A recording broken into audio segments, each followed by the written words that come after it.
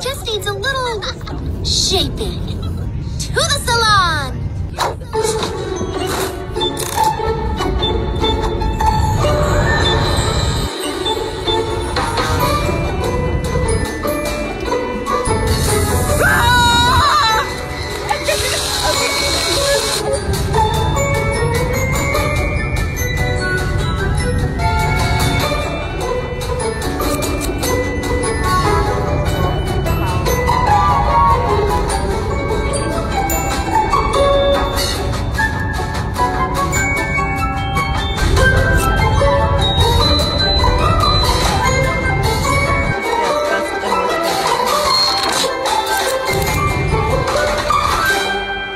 I love it.